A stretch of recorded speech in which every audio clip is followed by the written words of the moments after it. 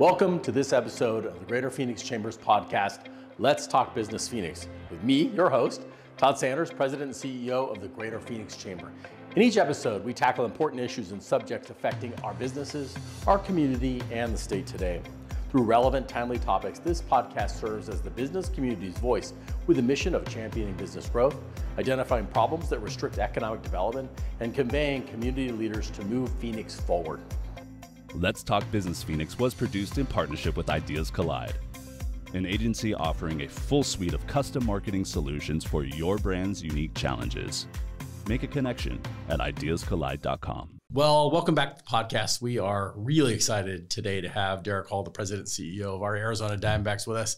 Derrick, thanks for taking the time. Todd, it's good to be here. Good to see you, my friend. It's awesome to see you. How are you? Uh, you obviously have some formula where you don't age, which is good, Yeah, I guess. That's that's pretty cool. uh, well, obviously, I think 99% of the people here know you, but maybe talk a little bit about yourself and then something that we wouldn't know about you that's not on your bio, for instance. Sure.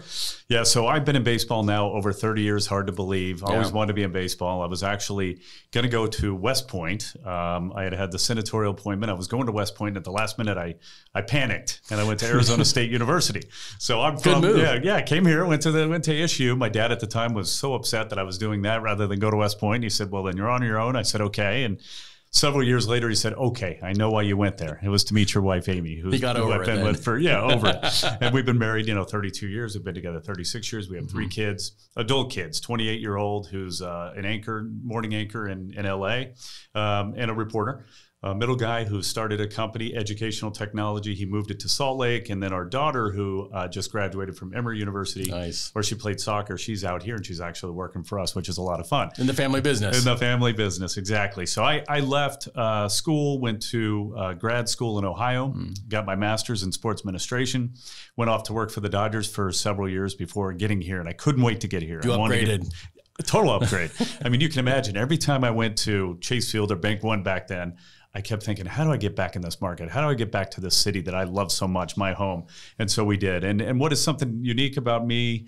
Uh, you know, I, I love animals. I love dogs, and I've got uh, they were raised during the pandemic. But I've got two female labs right now who I just love, Ivy and Maisie, and they are my world right now. Yeah. Yeah. And grandkids yet? No grandkids yet. Okay. Right? My my son was uh, engaged. He's now very serious uh, relationship again. So we'll see. I think Okay. they're getting there, but no, you know, no rush. In the We're batters okay. in the batter's box. Yeah, right. All right. Awesome. Well, I'm thinking about uh, 10 years ago, we were opening up in Australia. I think it was 10 years. That's right. That didn't go month. so well. Well, it, it didn't. But, you know, what I was thinking about that from that time, you know, 10 years, think about how much has changed. Yeah. Uh, a very wise man once told me if you look in the rearview mirror of your life, all you see is change. Talk to us about this last 10 years. It's been incredible. I mean, as a, as a sport and as an industry and then as an organization. I mean, I look at our sport and, and what we've done the last couple of years, we have transformed it. I was worried about the popularity of our sport. You know, I heard several years ago, it was good, Todd. Someone said, if you went back 75 years and you asked anybody what the most popular sports in the world were, in no particular order, they would have said horse racing, boxing, and Major League Baseball.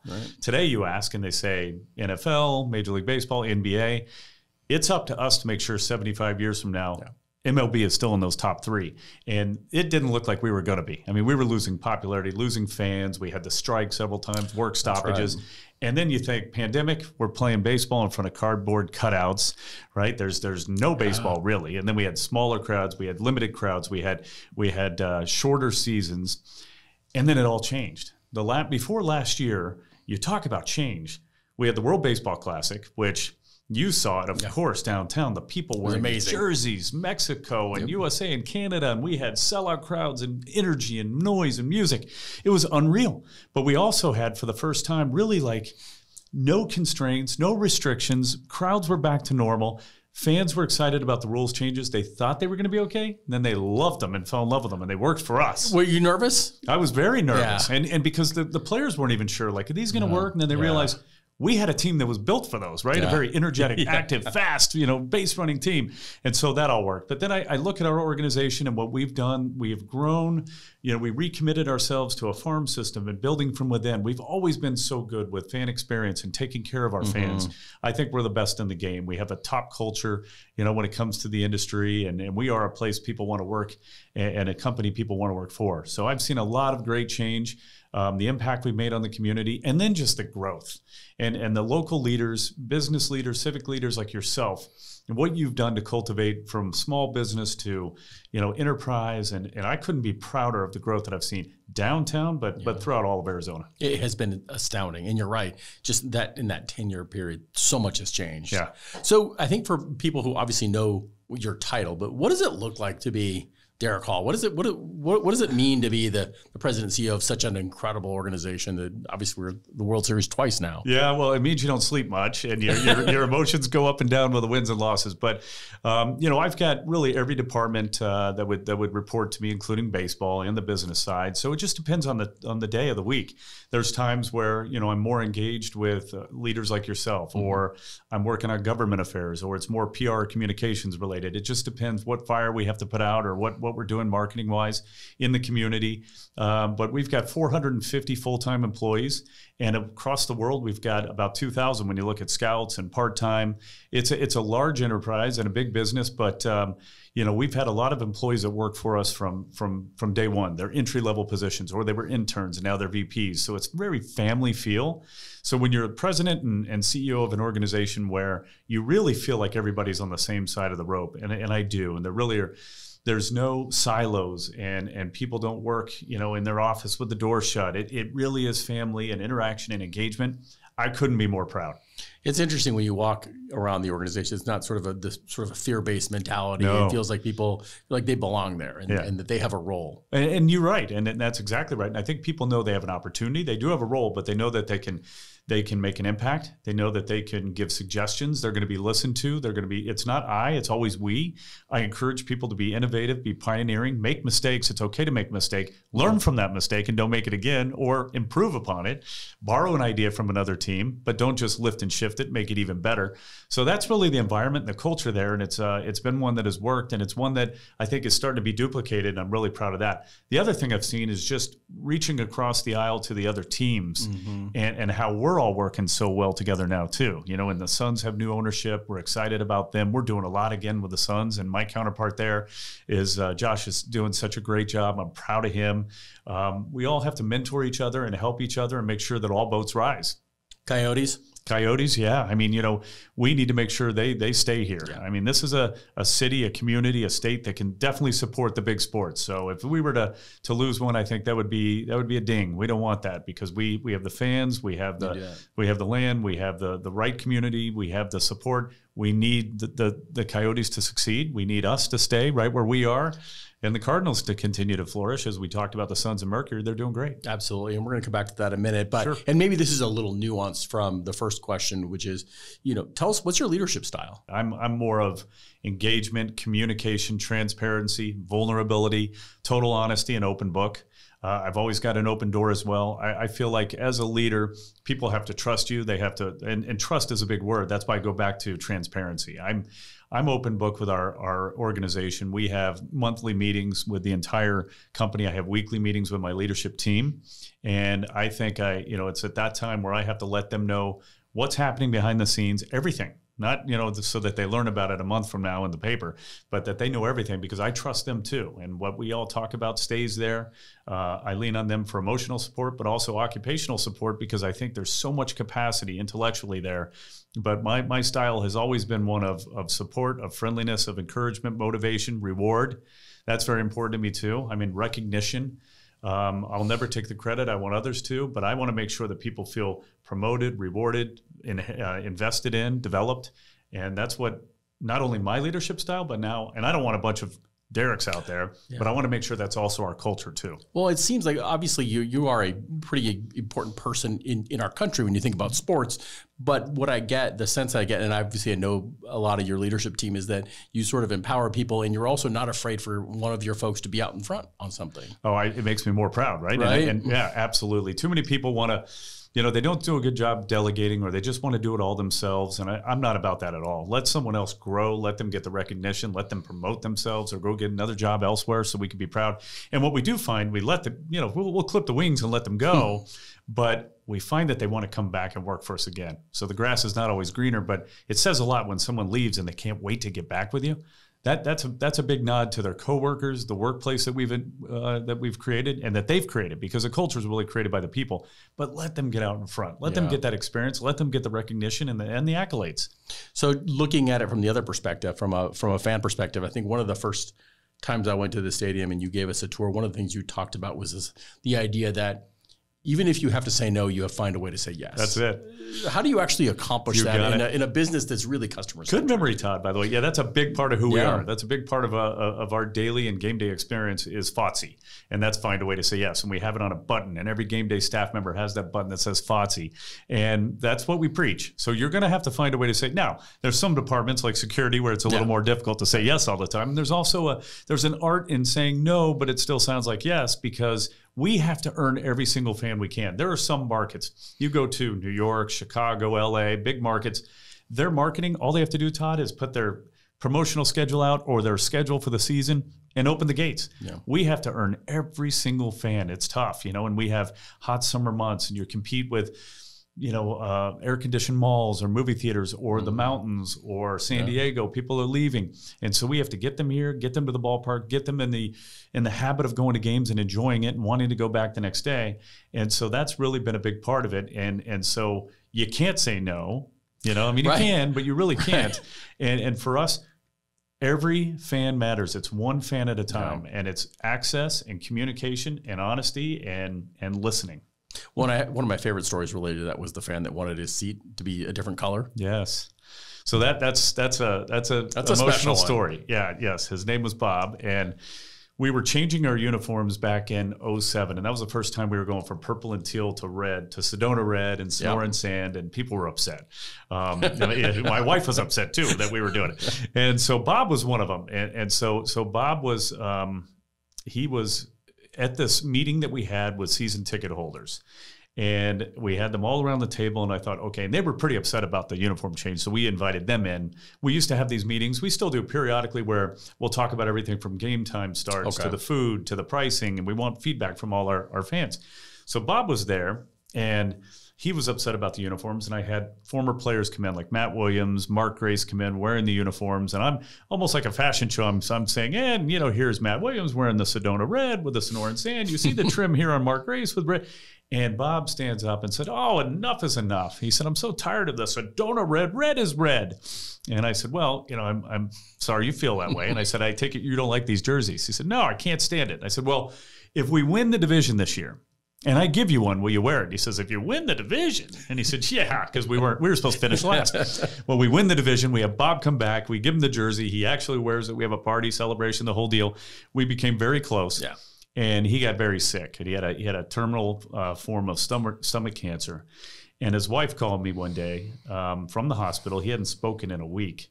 And so Todd, she says, um, Bob just woke up and he wants to talk to you. I get on the phone and he says, you know, I just had a dream and I was flying over the stadium. He said, and I realized the roof is open, so I fly down a little closer. And I look down and I see all the green seats, the, the ballpark green seats. He said, I fly even closer and I see there's one red seat. And he said, and as I get even closer, I realize that's my seat. And he said, I just want you to know when I pass, I want that red seat that was my green seat. And I want a plaque there that says my name and quote, red is red. So I said, "Well, Bob, you're going to be around a long time." Yeah. Unfortunately, he wasn't. He passed quickly, and today we have one red seat awesome. with that plaque. Yeah, yeah, a, I love that story. Yeah. I, mean, I think it speaks to the culture. Yeah, I, have been told that you're a big fan of Disney, and, and meaning that they're sort of the way that they um, manage what they do and the product that they sell are, are, there some similarities, and do you take some of that and bring it in into your philosophy? I absolutely do, and I do go to Disney a lot. In fact, we have our employees of the month. They're called uh, Team Players of the Month, and they're actually part of our President's Council. And we take them on a trip once a year, usually Disney. And the thought is have a little fun, but also observe, because that yeah. is the epitome when it comes mm-hmm. to customer service and cleanliness, which is a big part of our our experience. Yeah. Right? Is cleanliness, customer service, pricing, um, you know, safety. And so we go there, and I used to always tell the story, and I would say, I want you to watch when someone drops popcorn, some some little guy in all white is going to come over, sweep it up, be gone That's in no time. And so, sure enough, year after year, we'd go and I'd go, watch, and I'd drop a little popcorn and they'd come and do it. Well, I used to preach that to our facilities folks like, listen, you know, do the Disney method. When someone drops popcorn, pick it up. And one day I'm in the office early and we have a, a day game because it's a Saturday game of the week. And I'm in my office looking out and it's all glass from floor to ceiling. I could look down on the concourse and it happens and someone drops popcorn and out of nowhere someone comes over and cleans it up. I went oh my goodness. I go over to my laptop and i write real quick to my vp and my director of facilities. I said it just happened. Someone dropped popcorn. They came over and swept it. And a few seconds later they wrote back yeah we know. We staged it. But still they were thinking about it. But they were thinking about it. At least you got the message across that's right, right. they got it. Well it is an incredible organization. And you're right. That all that all happens in customer service is what that's all about which is. is reflected in in the work that you all do. Yeah, thank you. Yeah, and that is Disney. I mean, you go to Disney yeah. and it's about making memories. That's what baseball is. We're mm-hmm. in the mm-hmm. business of creating memories and we want it to be memorable. You're not going to win every game. We know that. And uh, when you're having a bad season, how does a family still leave with a smile on their face? Are the kids asleep over the shoulder, which is my favorite picture on the way out? And you can't wait for them to get back the next day or within a week or whatever it takes. Uh, one of my earliest memories was um, I think it was in it was maybe 2000, and we just just started the season, and everyone started chanting "Open the roof," which of course we don't do that anymore. but, and so you open the roof. It was probably like the fifth or sixth inning, and then every being Phoenicians were like, "It's cold," so we start closing close the roof. The roof. You, you close the roof. I, I, I, had a fan. This is so good. I had a fan. We had one of our haboobs, you know, yep. the whirlwind and all that, and so but the roof is open. It's it's batting practice, and I went upstairs, and I was going from like portal to portal to just before the gate was open to tell all our game day staff thank you and give them a hug thank you for treating everybody well well the gate opens and the, now the clouds have turned and it's you know it's dark yeah. and it's you know and now the wind's picking up and i'm like oh boy this is one of those and here's hot dog wrappers flying around and i'm walking like trying to close my eyes. And this guy goes mr hall. I said yes sir. He said don't you think you should shut the roof? And i said well i said in atlanta right now it's humid or it's rainy they're okay. I said in pittsburgh it's rainy and humid they're okay. And he said yeah but if they had a roof don't you think they'd be smart enough to close it? Said, good point. Get close on the, the roof. Close the roof. It is a nice luxury it is. No, having a roof is great, especially here. And and even when there's talk of a new stadium, like if there's, do you need to build a new stadium? And if you do, should you have a roof? Well, you have to have yeah. a roof. I mean, you know, our, our game is played in the summer months. And so it's really nice to have that. And and I think that's also why the maintenance and, and the number of issues that we have that need to be addressed, it's because of that wear and tear in a stadium that's been there already 26 years. And we forget. I honestly, 20, uh, 2000 feels like just yesterday, yeah. and and you, you you do keep it beautiful. Thank so you. people forget that there's wear and tear. Thinking about a 26 year old car would wouldn't be a good situation. Right. So let's talk about that a little bit. Obviously, we, are going to need to do something on that. What are what are what's the thinking right now? Yeah, you know, we're having lots of conversations with county, city, state. Mm-hmm. We're county owned. And if you could have gone back, say, 30 years ago when this thing was being negotiated, you would have tried to find and found, and it's nobody's fault, but you want to find a pathway or a pipeline of revenue that could go back into the stadium. Perfect example. AZSTA, you know, and the Cardinals, it yeah. just works so well. They've got sure they've got some taxes like um, rental car yes. and, and hotel tax, but the income tax from the players and the and the staff and the sales tax. You know it's recaptured it goes back into AZSTA, and then a portion of that goes back into the facility. So there's always upgrades because it's an asset it's yes. owned by a government entity. Well same with us. So ours is owned by the county but they don't have the ability to really raise money to put back into their stadium. So we're trying to find what that public partner or public private partnership would look like where you know what can we do with the city? What can we do with the state and the county to make sure that we create some sort of a funnel to help out the stadium which by the way we don't own, yeah. the county owns, so it's not going in our pockets. Like all that money would go into improving the building, which would improve the fan experience, which would drive more revenues and more taxes.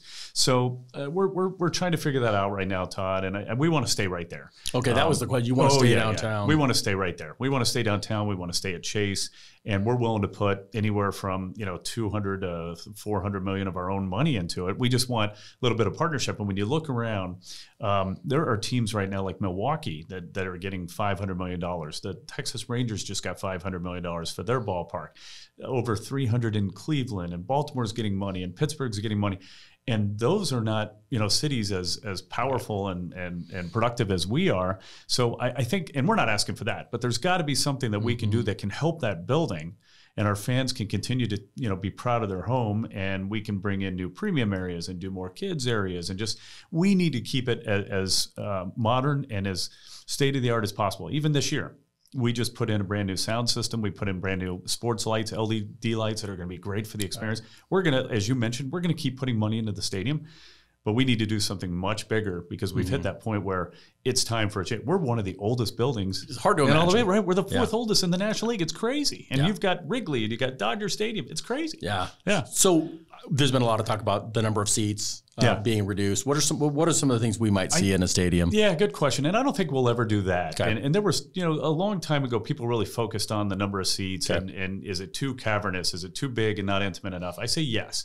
If you were going to build it today, you probably want it to be 33 to 38,000, you know, seats total for capacity. We're at 50, but we don't want to change that because when you're there at opening day, or when you're there for the playoffs, like we just were, and you look around and you say, "Thank goodness we have yeah. fifty thousand seats, right?" Because or, we packed that place; it was great, and home field advantage was unbelievable. For Elton Concerts. John concert, yeah, yeah, for Elton John, that was Bad awesome. Bunny was the largest concert we ever had, you know, and it was huge. We had back-to-back nights of, of a country concert that was Morgan Wallen, that was unbelievable. So that's when you're really happy you have that big a capacity. There's other things we need to do, and we need to fix a, lot of infrastructure yeah. first. Probably Which people don't see. Yeah, we got to fix the uh, fix the HVAC to make sure stays cool uh, in that building. We've got to fix a lot of the pipes where we've had leaks throughout the building. We want to redo a lot of the seats, uh, make them larger and more comfortable, redo mm. some of the suites, and, and add more club areas. If you go to a new ballpark today, you'd be amazed at how different it is from ours. Yeah, and and they are now generating revenue. Not to mention outside and around the, the, the ballpark as well. You want 365 days a year. You want activation. You want mm-hmm. restaurants and retail and hotel, and we need to do that. The Atlanta Braves almost tripled their revenue because they built the battery outside. It's called the battery, which is retail and hotel and, and business and restaurants outside of their ballpark and they are just crushing it. That's what we're all hoping to do. Even if you have like a ballpark village where it's a nice restaurant, bars, you know, you have to have that. And, and we've done great for the businesses around. I look back to our playoffs this year and the numbers were, they were amazing. I think it was of our crowd, of our sellout crowds, like 10% of those large crowds went to a restaurant or bar before the game and 16% went after the game. So think about that spilling out and spilling in. Huge. We, we need to continue that. We have a huge impact on all those businesses. Yeah. And I think 10 years ago, probably downtown and the surrounding areas weren't really ready to support something like that just because of the population. Now it's in such a different place. We're growing up, right? Yeah, we, we have a lot of uh, single family housing. We have condos, we have apartments, and we have ASU and U of A downtown. It's a great place to have a ballpark, and it's only going to get better. So let's let's talk about that because obviously you don't live in an economic bubble right. there's an impact to the, the to what the Diamondbacks do here, not just game day, but everything else, salaries, all the expenditures. What's the economic impact that the Diamondbacks yeah, have? Yeah, it's you know they're big numbers, and you have them in buckets. I mean, I look alone at, at the original investment, which I think was 238 million from taxpayers, and then we put roughly the same in, not at the time, but we have yeah. since. Um, it, it's been like a for every dollar that taxpayers put in 26 28 years ago it's been a return over $22 so i think it's 22.50 for every dollar. Um, so at the time you look at a $238 million investment it's well over 800 million now. And and you look at the, the taxes that we're able to generate this past year, sales tax alone for county, city, state was $25 million. And we're able to do so much more now because we now book the building, which has really helped. So that's yeah. why the concerts you referred to, whether it's Billy Joel or Elton John, the country concerts, the, the bowl games, all of that the Stones, is which I'm going to be going to. There you go. Yep. yep. So all of this is good. And, and I'm just, I'm really proud of that. You look at uh, the World Series alone, not yeah. just the World Series, the playoffs. This year was $107 million for state GDP just from the playoffs. Yeah. You know, the World Baseball Classic, that was 10 games in five days. That was $7 million. When we had the All Star game in 2011, that was 60 to 70 million dollars. So there's huge impact from having a baseball team, and it's, it's, it's an anchor on a, on a yearly yeah, basis. I always think about these things in terms of what if it wasn't here? So what right. would be the what would be the loss on a yearly basis, or the the unrealized gains that you wouldn't get on a yearly That's basis? Right. And it's pretty significant. It, w- it is significant. Or what would we do as a community if we didn't have a baseball team to try and attract one? Right? Yeah. If we had never had yeah. one, we'd say we want one of those. You know, so what and we, we would do? And we, and we would, yeah, for sure. But eh, and then and then to your point about the community too regardless of how we play, we know we're not always going to win. We know we're not always going to have great seasons, but we know we're going to get back to the community. We're at over $80 million now that we've given back. Um, it's, it's all time highs. We've given back more to the community than all of the other local professional sports teams combined. And so that's our biggest point of pride. We understand our social impact, we understand our social responsibility. Um, and it, it, starts at the top, our, and our players are all involved, our coaches are involved, our front office is involved. Give something every day if you can. Yeah, well, and I think you you all are maybe a little too humble about that because a lot of people that aren't sort of in these circles don't know it. Well, yeah, and it's and, and you don't do it, you right. know, to I pat know. yourself on the back. So I appreciate but you saying true. that. But it is true. But it, it is, and and we're all we're all involved in one way or another. Everybody in the organization, and we we give people time off to go volunteer yeah. and give them time off to go, you know, work at a, a you know a food pantry, go to St. Mary's, go to St. Vincent. Um, give something. That's the message. Give something. Well, I wanted to talk about the World Series, but as I speak about that, let's talk about that impact, the economic impact that the World Series had. I mean, what an incredible time frame for us here in Arizona. It was amazing. And you know, we we look back to our season, we sort of backed into it. I was thinking, if you asked me a year ago, Todd, are you guys going to be in the playoffs? I'd say, "Oh, I hope." You know, these are very young players. I hope so. This year, if we don't make it, I'd be disappointed mm. because we did get as far as we did. We barely made it in the playoffs, and then we just got hot. And I remember thinking, okay, we have to go to Milwaukee. We're going to have to face Burnes and Peralta. That's going to be tough. We'll probably get swept, but what great experience for these young kids. And we sweep them. Well, now we got to go to LA, and we know the Dodgers crush us anytime we play them, but it's still going to be great experience. And we didn't only beat the Dodgers, you know, we, we walloped them to the point where felt we, so good. It did, but we poked the bear, right? And they spent a billion dollars on two players in a week. Like, we'll show you, little guys. Um, and, and then we, you know, had to go play Philadelphia, which is unbelievable to have to go there and win game six and seven, which we did. So now you come back and you're playing Texas. And, and I can't compliment the Rangers enough for just how good of hosts they were and how great we all got along, all their yeah. fans. They were just classy as could be. And I congratulate them. But those five games were still magical. And we, of course, played three and four and five here. And I thought if we could have gotten back, it would have been amazing. Um, but the energy and the support that we felt and yeah. saw throughout the state, that last month where we were battling with the Cubs and the Reds and the Marlins, and you know, are we going to get it? Are we not? And we and and we do, but it was unlike I've ever seen the state rally behind a team. Like 01, sure, you know, and 07 and 11 and 17 were special times. 01, of course, but this was unbelievable. And and the the the crowd was as loud as I've ever heard. And that Dodger series, when we hit back yeah. to back to back to back home runs, those four home runs. That must have just been so chilly. It was crazy. Yeah. And and it was Gabby Moreno that hit the fourth one. And he hits the home run. The place erupts, and I'm screaming, go, This is the loudest I've ever heard this place. And then the umpires get together and they say foul ball. And we went, Oh. And we said, That would have been so cool.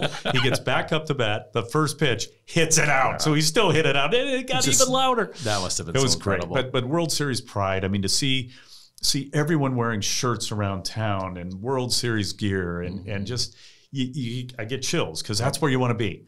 And when I was holding that trophy in in Philadelphia on stage, and the fans were still booing us, and I'm holding that trophy, and I'm thinking, wow, this is all you work for, right? For your fans to, and your employees to be able yeah. to get, get to the Big Fall Classic.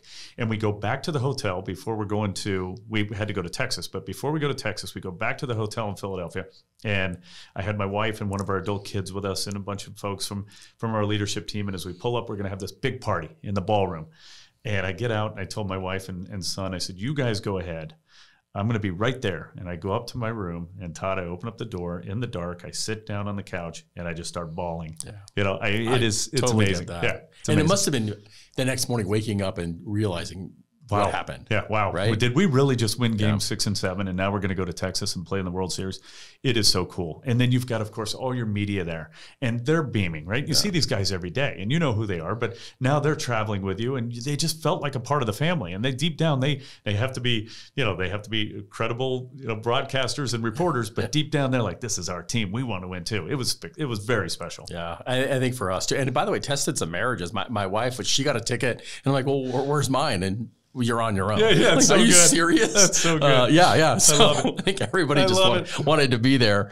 Um, so a couple of other things. You you mentioned how baseball has changed and the rules changed. What thinking about the next ten years? What else? What else can we expect? Yeah, I think the game is going to continue to progress. I mean, first off, you, you've got to attract the younger audience, and you know they have so much competition, and it's all about access to the game. It's you see the models already changing. We used to have our regional sports networks were the biggest deal. We were on yeah. Fox Sports Arizona, and then we were on Bally's Arizona. Well, that went away. Now we're still regional sports of our own with Major League Baseball. The way we view the game in the future is going to change. It's going to be about watching anywhere you go on your on your handheld or on your phone. Mm-hmm. Kids are going to be able to watch streaming. That's where we're going. Is there the kind of revenue that, that you had in the past with with linear TV? Not at all, but that's mm. okay. We want people to be able to get your games, watch your games, become fans for life. Uh, I think technology is always going to change as well. You're going to have more technology in ballparks. You're going to have AI. You're yeah. going to have, you know, eye or facial recognition as your ticket to get into a ballpark. The way you're going to order your food, the way you're going to consume the game. The game, the sports betting and gambling is already so different. You know, yeah. on your handhelds in the game, it's changed the game and it's kept people really attached, whether it's ten to nothing or one to nothing. And uh, I think you know from a rule standpoint, you're going to continue to see changes because we are sampling and testing all those at the minor league level. Automatic ball strike zone.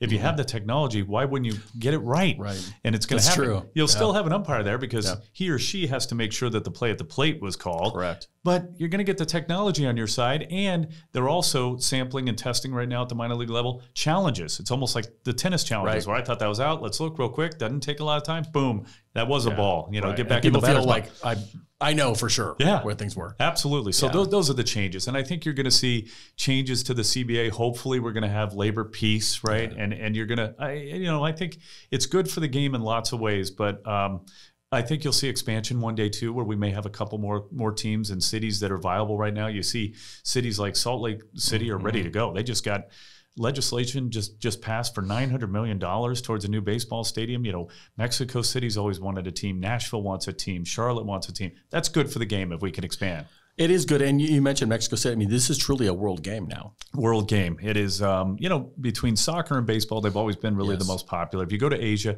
it's baseball. You go to Japan and watch a game there the energy, the noisemakers, the the loyalty to their teams, the bands they take on the road. It's amazing. Mexico is that way. Dominican Republic is that way. Venezuela. Um, so so we have to continue to grow the game worldwide, and we've done that with the WBC a little bit. The Olympics. We'll see if we yeah. participate in the Olympics. Um, but but yeah, Mexico City. We were going to play there, and you know it, it we were going to play Oh boy, we went and saw AMLO. We went to his palace mm-hmm. and got to meet with the president. He was excited. We were excited. We took a tour of the stadium and then the plug was pulled. So I can't wait to get back in the queue there, which we will, to go play in Mexico City and represent us and take folks like you so yeah. you can shake hands and tell them why Phoenix is such a great place. well, one of the things I like about your international work that people don't know about um, is what you do in the DR, in the Dominican Republic, where, where you're scouting kids. And like most clubs, you you make sure that they're getting an education. The difference and you can correct me if I'm wrong, is a kid that doesn't make it all the way through your commitment to them is they're going to get all the way through high school. You're exactly right, and it's really unique, and we're proud of that. And it's yeah. worked. And even if we if we cut a kid, or if he he quits and doesn't uh, want to play baseball anymore, we are still committed to him. He's got that laptop. He's got our curriculum. He's still going to graduate. And when they leave the the academy at the Dominican, because they get to come here and play for one of our affiliates, the program goes with them. So they continue to study and they're going to continue to get their graduation and get their uh, the, their diploma. And it's worked well. And it's it's there's nothing like going to the academy and seeing yeah. a kid that may be 24 years old and just got his high school diploma, you know, or someone that is 17 years old and, and just sped right along. And for them to say thank you, um, because we have to tell them not everybody's going to make it in baseball. Most don't. So yeah. if you're not going to be a scout or a coach one day or playing one day, we want you to be a banker or a doctor yeah. or own your own business or or be a chef. And you need your degree, and they they buy in. Well, and I, and I know that's not common, and I hope the other clubs are looking at your example and doing it because it's such a game changer. We've had a lot of teams ask us how and, and ask for the playbook, which is great because yeah. I, I, hope every team and every academy does it eventually. You bet. Yeah. Well, let me switch gears a little bit. Pro State Foundation. Yeah. You talked a little bit about that. Obviously, you have a very strong connection to that. And you you you founded it. Yeah. So in 2011, uh, at the time I was well, 42 years old, and by accident, I had blood work done that showed that I had prostate cancer. And uh, had my prostate removed, and, am very fortunate that I'm doing okay today. Uh, my wife as well, uh, a few years back, had triple negative breast cancer, which was very scary, and it's been in the rear view, which is good. Uh, obviously, it's good. And but prostate, I'm just you know what I found over time was if you could just talk to a man, men are scared to go to doctors, they don't want to, or they're too manly. Don't right? want to know. I know, I know, I get it. But if they just go, and and so many guys just, can you tell me your story? And so for me to be again transparent and just open up through our, our website and you know it's uh, it's saved it has saved lives which is which is yeah. wonderful. And today is so much different than it was 10 years ago. You're yeah. talking about how quickly things change again todd. Medicine it yeah. changes and the options that people can go through. And so there's a lot of alternatives and uh, i'm just trying to educate people and drive awareness. Well and to think about if you hadn't done it. Like if you hadn't made the call and gone in. Oh my uh, goodness. what's a different where we wouldn't I, we wouldn't be here. Right? we wouldn't be having this conversation and for other no men to take that example and the example of your wife and to say well you would go get checked out. Exactly. Such a difference. Yep. Um, well, well as we're wrapping up, I want to, I want to, I'm going to throw a date out at you. Okay. In Spanish, Tres de Mayo. Yes. Tell me, tell us, th- third of May. It's, yes. it's an important date for you, but what it's, does it mean? It's, a, it's an important one for me. That was, uh, that was the day that my wife and I were married, mm-hmm. and so May third, nineteen ninety two, and Tres de Mayo. We actually went to um, we went on a, a, trip to Argentina and we visited a winery and we had an opportunity to, to buy a little acre there and have our own. So we actually bought a winery at the time. We named it Tres de Mayo, and our label, which is beautiful, was a, a waterfall because we got married in at uh, in Tucson at La Paloma. Oh, nice! In front of the waterfall. So we have this waterfall and we have the backs of our kids' heads. So it's it's two boys and our daughter and that's Tres de Mayo. So it's meant a lot to us. And uh, Third of May is a is a day that's very special to me. We're a close family. We're we're a great uh, husband and wife team, and and I'm proud of where we've gone as a family. Well, and and, and the pride certainly shows. Yeah, thank you. Well, I want, I want to thank you for spending so much time with us and for everything you do in our community. We're going to do a quick lightning round here. Okay. Uh, first job. My first job was at uh, a newspaper, and I was actually it wasn't delivering paper, but I was more of going to pick up ads and and uh, go pick them up at agencies and take it back to the newspaper. Okay. And what did you learn? Um, I learned that I wasn't a very good driver of a truck, and, and that I, you know, I did get in an accident.